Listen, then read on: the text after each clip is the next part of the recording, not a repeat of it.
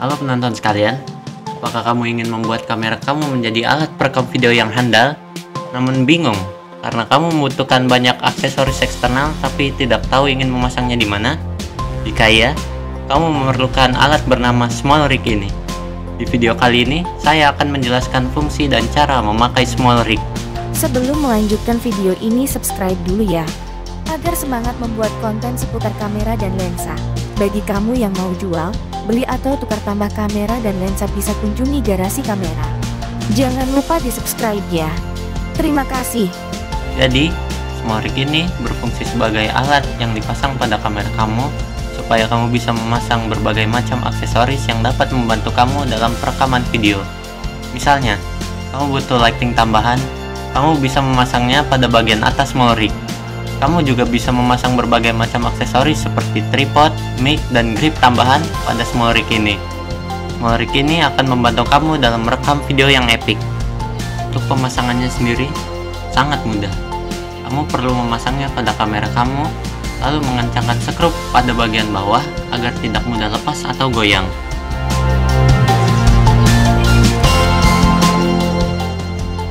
pemasangan aksesorisnya sendiri juga cukup mudah.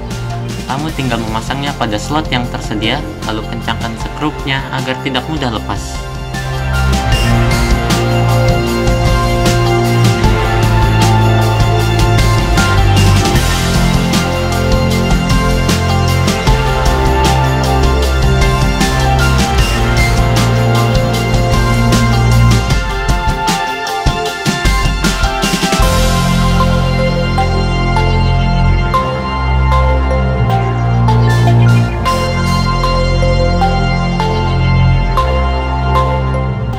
Sebelum melanjutkan video ini subscribe dulu ya.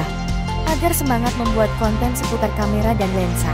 Bagi kamu yang mau jual, beli atau tukar tambah kamera dan lensa bisa kunjungi garasi kamera. Jangan lupa di subscribe ya. Terima kasih. Dari video ini, kamu sudah mengetahui fungsi dari alat ini. Kamu juga telah mengetahui bagaimana cara memasang alat ini pada kamera kamu.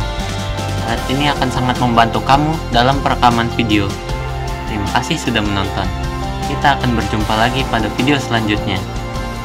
Kamu bisa mendapatkan kamera dan rig ini di marketplace Garasi Kamera.